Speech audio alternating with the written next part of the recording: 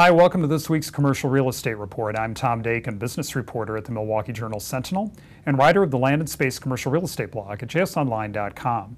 Nearly three years after city officials approved a $35 million redevelopment effort for the former Tower Automotive Complex, there are signs of progress at that Northside site. The planned project, called Century City, will be a mix of light industrial and back office buildings, along with a limited number of apartments and commercial space. It's still in the pre development stage, and that phase includes an environmental cleanup, demolishing most of the former tower buildings, and building a new street and other public improvements to serve vacant parcels to be sold to businesses. The city began tearing down buildings in February, and that work will be finished by December. Vacant parcels will be put up for sale next year.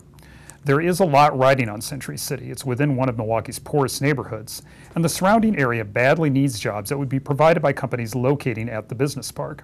The new development also would generate property tax revenue, a key source in paying the public costs of buying and redeveloping the site.